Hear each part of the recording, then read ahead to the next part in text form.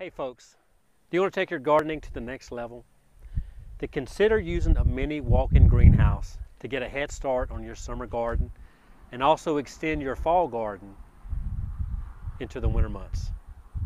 I created this mini greenhouse series to give you an in-depth look at what's involved with operating a mini greenhouse. Episode one, we're going to unbox and put the greenhouse together and take a look around inside and out. Episode two, we'll pick a spot for the greenhouse and talk about thermal mass to help the greenhouse regulate its temperature.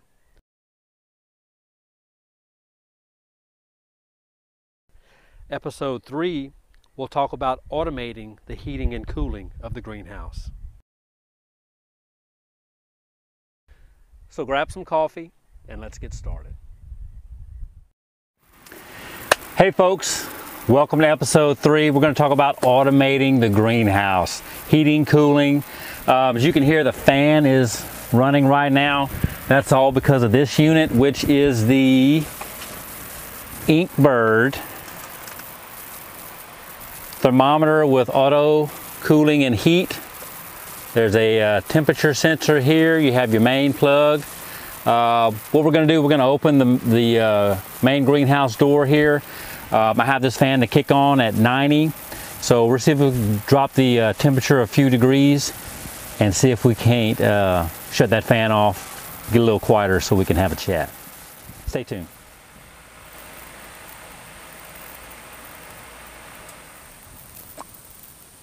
And there it is, automation, a beautiful thing.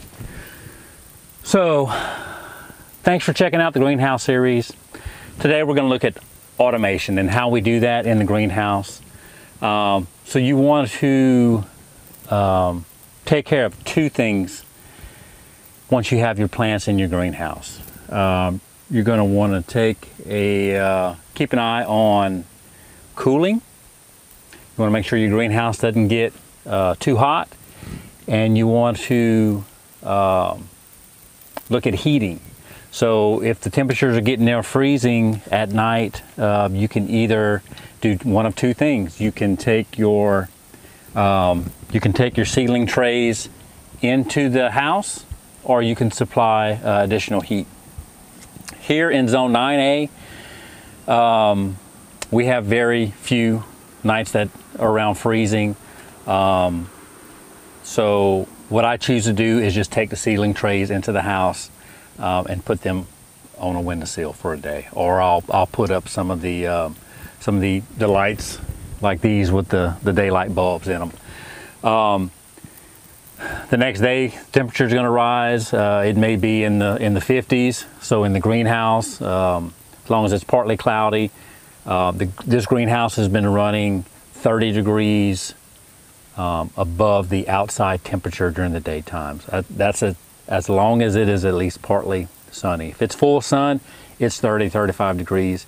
If it's uh, mostly cloudy, it's it's around 20 degrees. So um, when it's hitting 70 degrees here, it is over 100. So what I've done is this greenhouse, and the reason I chose this greenhouse, it has um, these windows that are on each side. There's one on this side, and there's one also on the other side that allows cross ventilation. Um, maintaining a greenhouse, you're going to have to keep up with your, your temperatures, um, which is easy to do nowadays. Everyone has a smartphone. You can see your extended forecast, your forecast for the next couple days.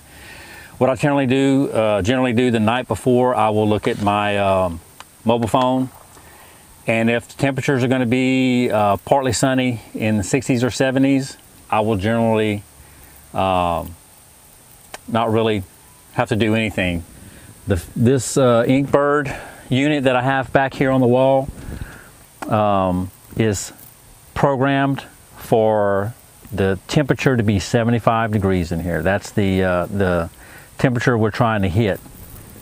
And I have a second unit here. Um, so the way these units are set up, there is a plug. There's actually two plugs. This side is to plug your cooling whatever you're going to use for cooling. I have a fan, so my fan plugs in here. This side is for heating, which I have a heat lamp with a 250 watt bulb in it. So this temperature is run to this shelf here and just tied on with a, a bread, bread tie. Um, and that gives me um, about the middle of the greenhouse, about midways up. That gives me the temperature in here. So my unit is set for 75 degrees and there are two things it monitors. There's a, a heating differential and there is a cooling differential. So the, plant, the fan is plugged in uh, and we'll go inside here and we'll do some tests and we'll show you that. The fan is plugged into the cooling side. I have my cooling differential set to kick on at 90 degrees. So at 90 degrees, this fan that we just saw is gonna kick on. Or when it drops below 90, it's gonna kick off like it just did because we opened all the windows and opened the door. Same side for the heating differential. The heating differential I have set for this unit is 45 degrees. So if I've misjudged something or, uh, you know, if temperatures are getting down really low, I don't want to wait until 32 degrees. I have this set for 45. It'll kick this lamp on and this lamp will keep it about 10 degrees warmer than the outside ambient temperature. That's just a safety factor. Uh, we had two cooling nights here um, a week or two back. I took the plants in, I turned the light off. Yes, it would have kicked on. I'm just saving myself a little bit of energy. But that's the type of freedom this thing gives you. This model is actually Wi-Fi enabled. So I can monitor this while I'm at work, while I'm on road, while I'm on vacation, cross country. Uh, and I'll, I'll show you screenshots of that also when we go inside. But it gives you um, it gives you a graph. You can see the temperatures as they rise and fall throughout the day. Um, it tells you what the uh, current temperature is, and it tells you whether your heating or your cooling is currently running. So automating the greenhouse, this is invaluable. The non-Wi-Fi model of this runs about, I think 25 on Amazon. And hey folks, don't worry, I'm gonna have links to all this in the description below. $25 without Wi-Fi. I believe the model with Wi-Fi, which is this one, uh, was right about 45, um, 40, $45. So for me, uh, being the, first year uh, trying to run this with the plants in it, it was a no-brainer for me. I, I popped on the 45 bucks, uh, came in, in a day or two, and I have absolutely loved this. There are, uh, there is one quirky thing. Uh, I reached out to the company, and that's how they actually sent me this unit uh, as a spare, just to do some testing with. Um, it turned turns out you set your high differential and your low differential temperature.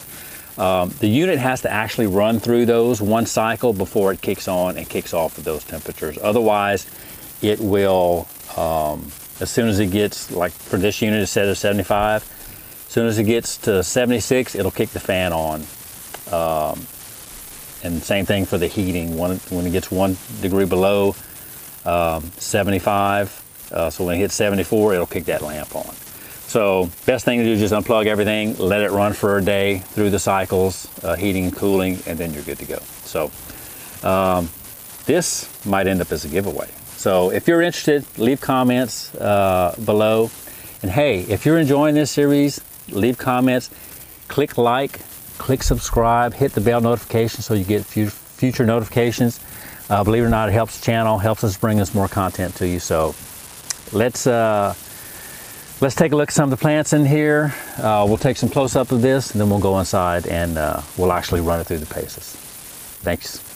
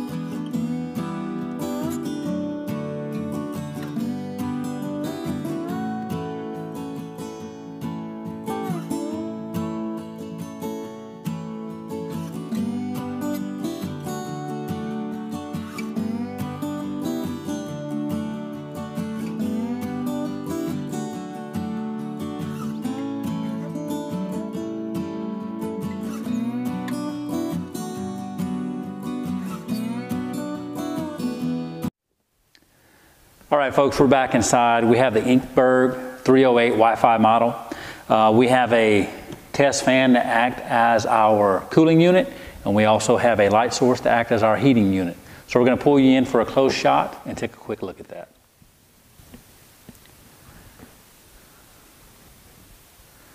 Okay, folks, we're going to run through the cycle here. We have the Inkbird 308 Wi-Fi model. Um, when you get into the app, you have your uh, different models available for you to choose. So we have the greenhouse here set up. Currently in the greenhouse, it is 54.9 uh, degrees. Outside currently, I believe it is about uh, 45 or so, 41, 45. So we're about 10 degrees above the outside temperatures, and that's about as cool as it's going to get for tonight. So here we have our test unit which will correspond to what we're looking at here. Um, so the unit has all the buttons you can set manually if you choose not to get the Wi-Fi model. If you do get the Wi-Fi model, um, there's a Wi-Fi light indicator and you can set all of your options through the uh, mobile app. Um, so there's also a set button here, up and down, which will let you set your temperature you want to monitor for. Currently we're matching the greenhouse setting, so this is set to 75. Um, the current temperature reading on the probe, which is here, is 71 degrees, which is what we're seeing here. It's currently in a heating mode. Uh, as I mentioned outside, this unit hasn't run through a complete cycle where it's hit all the upper temperatures and the, uh, and the lower temperatures. So it's going to activate as soon as it's one degree off uh, on the heating and the cooling cycle. So for testing purposes, that's, that's uh, works out uh, even better. That's why I have it like that. So basically, this unit will monitor your set values um, for your heating differential, and you can set that from 1 to 30 degrees. Right now, we'll set it to 1 degrees for testing to see how this sets the heating on and then shuts off heating and does the cooling. So right now you can see we are in a heating mode because we are lower than our set temperature that we want to monitor for. So you can easily change that by going to your set point. So we'll drop this temperature down to 70. We'll select OK. You'll see this flash app saying that it did just got an update from the app module. This will switch to a blue screen and this will indicate cooling. And you'll see this light turn off and this light turn on, which is labeled cooling.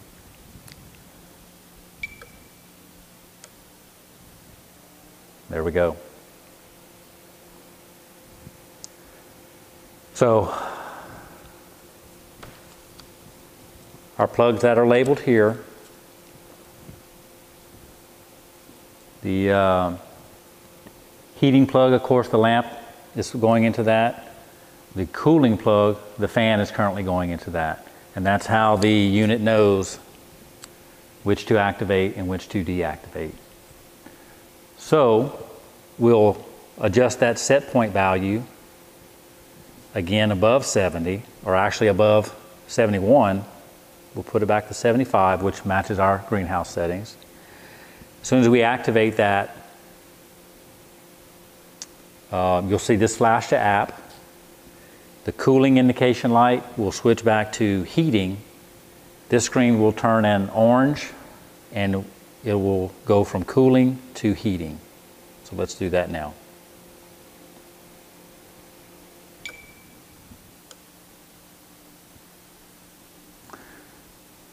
Isn't that a beautiful thing?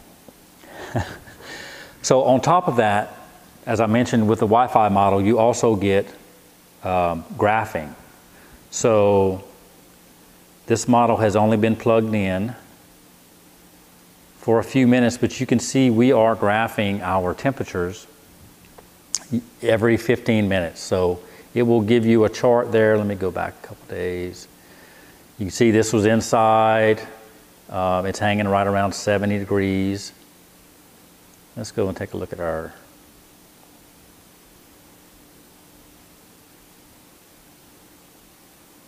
greenhouse.